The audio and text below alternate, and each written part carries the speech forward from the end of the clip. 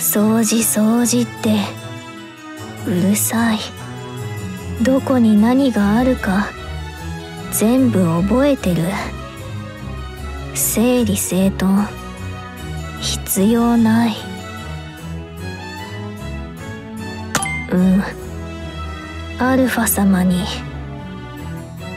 でも誤解してる。研究するとき一番効率いい配置。あれ崩したら仕事能率落ちる。そんな言葉聞いたことない。部屋汚くても成功する人いる。むしろ研究者みんな汚いと思う。そう。本当に。どうせまた汚れる。だったら最初からやらなくていい。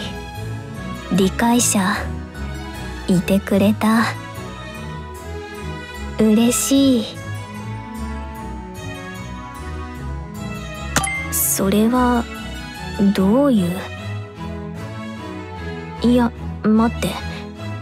余計なものを倒したり混入したりとかそういったトラブル確かに減る。そういうことなら